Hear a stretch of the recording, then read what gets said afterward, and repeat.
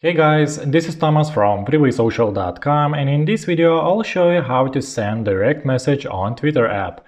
As you know, sometimes you can't see a mail icon next to user's profile and this means that this user has disabled others to send him a direct message.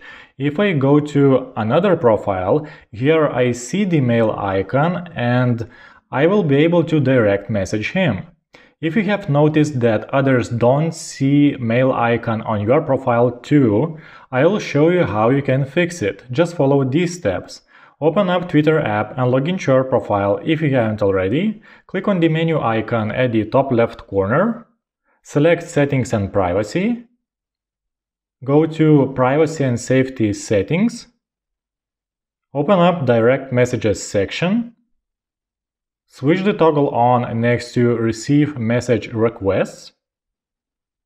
Now everyone will be able to send you direct messages on Twitter. I hope this guide was helpful and you are able to send direct message on Twitter app. Don't forget to like this video and visit us at freewaysocial.com.